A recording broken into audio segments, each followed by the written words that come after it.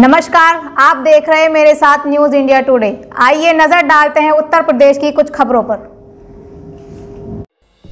खाटू श्याम जी का फाल्गुनी लक्की मेला, परवान चढ़ गया है।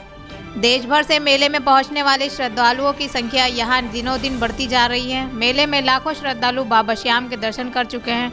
श्रद्धालु श्याम बाबा की भक्ति की मस्ती से सराबोर नाचते, गाते, रंग गुलाल उड़ाते हुए बाबा श्याम के दरबार पहुँच रहे हैं।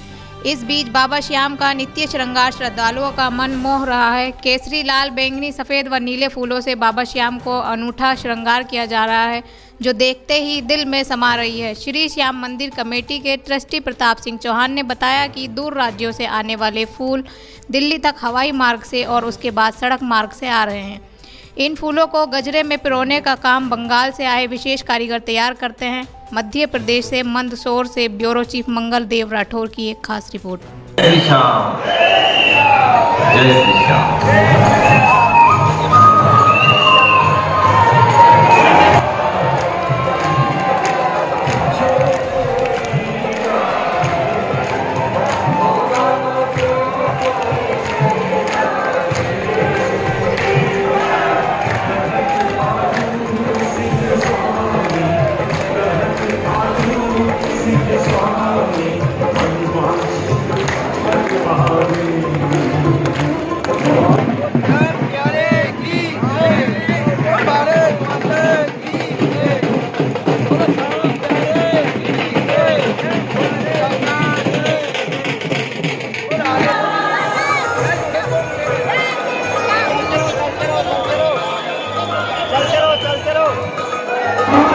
बाबा की एक झलक पाकर मानोत्सव मन्नतें पूरी हो गई।